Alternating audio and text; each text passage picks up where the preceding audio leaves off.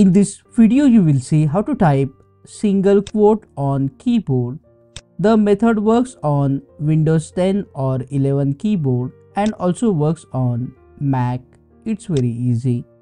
To type the single quote, first click inside the document and the single quote is available here on your keyboard beside the enter key.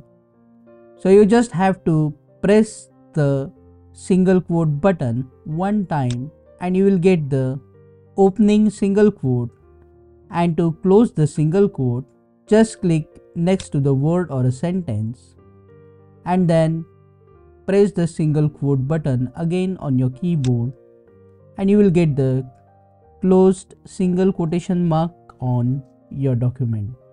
So remember this key is beside the enter key upside the shift key here.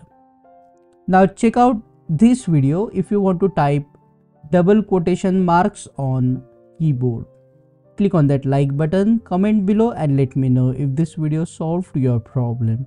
See you again in the next one.